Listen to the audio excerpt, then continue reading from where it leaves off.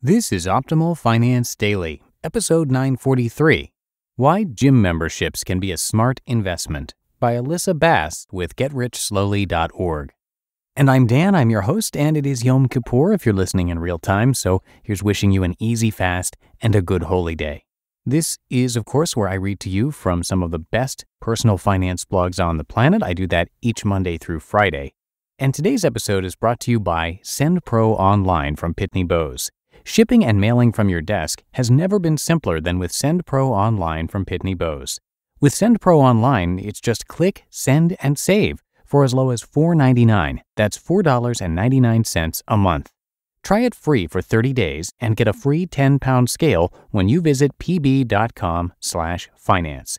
That's pb.com/finance. For now, let's get right to our post as we optimize your life. Why Gym Memberships Can Be a Smart Investment by Elissa Bass with GetRichSlowly.org. I've just come from the gym. My arms are so spent I can barely type. My glutes are killing me as I sit on my wooden chair. I am guzzling ice water and still sweating a little bit. An hour of concentrated exercise with a trainer, part of my gym memberships, has left me feeling both exhausted and accomplished. I love my gym. My gym membership costs us $158.46 per month. I can hear the gasps of horror from the frugal corner. That's $1,901.52 a year. Over the next 10 years, that's almost 20K I could be putting into my Roth IRA. That's $5,704.56 we could be putting into the 529 college account for our second child. You remember him, the one we call Hope He Gets a Soccer Scholarship. I could use that to open a stock investment account and invest in electronic traded funds. I could purchase corporate bonds. I could, but I'm not going to. I'm going to continue to use that money to invest in myself. And here's why. Because nine months after joining this gym, I've lost nearly four pounds of body fat, 12 pounds on the scale, and back to wearing clothes I haven't worn in more than two years. I feel better than I have in a long time, mentally and physically, and I've made new friends. To me, that's a great investment. My family actually has two gym memberships. We also belong to the local YMCA at a cost of $936 a year. The husband swims at the Y three to five days a week, and our two children use the gym equipment there to supplement their training for their team sports. My son also goes and plays pickup basketball in the winter with his friends. Yes, I could use the Y, but I don't. When I tried using the Y on a regular basis, I was sporadic at best in my workouts. I hated the locker room, which was a little dirty and a lot shabby. The class schedules didn't really match my schedule, and I didn't like using the equipment. Again, a little dirty and a lot shabby. A little background. I've been a consistent exerciser for probably 25 years, primarily walking and running, but it kept me in shape and got me outside every day for a period of time. Having a dog is a great incentive to get outside and take a long walk every day, and running was a good way for me to do some thinking and have some quiet time. And then I turned 50. I got laid off. Menopause started. My 90 year old father fell and broke his hip. I had to invent a new career. My 91 year old father died. My daughter had to get ready to go to college. I was a wreck, emotionally and physically. Menopause is Latin for one day you will wake up and weigh 10 pounds more and you won't even know how it happened. And oh, by the way, you will want to cry all the time and sweat buckets at a moment's notice. My career uncertainty, the illness and death of my dad, and my daughter's looming nest leaving all coalesced into a nice big meltdown, and I pretty much gave up on myself and was just trying to get through each day without sobbing in front of strangers. Enter my wonderful doctor, who sent me to a wonderful therapist, who helped me see that it is helpful to control the things I can control in order to feel better about life and its associated chaos.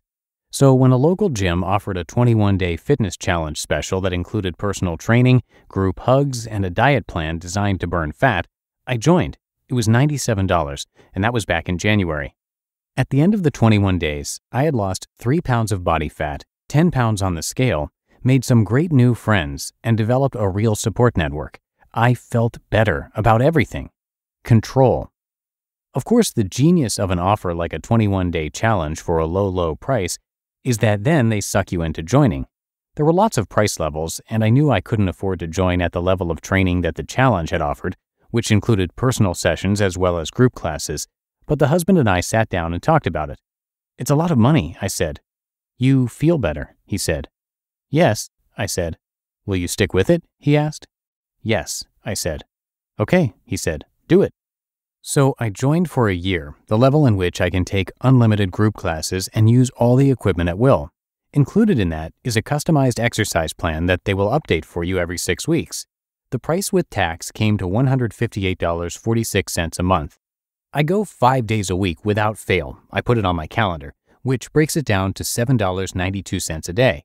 Sometimes I go six times a week, which is $6.60 a session.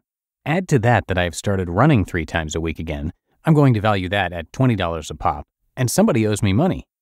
In all seriousness, though, the mental and emotional stability that I have gained in the last nine months is due in large part to the sense of control I have gained through my gym. It's worth every penny to me and the husband. What about you?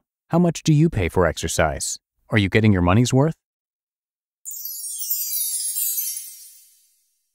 You just listened to the post titled, Why Gym Memberships Can Be a Smart Investment by Elissa Bass with GetRichSlowly.org.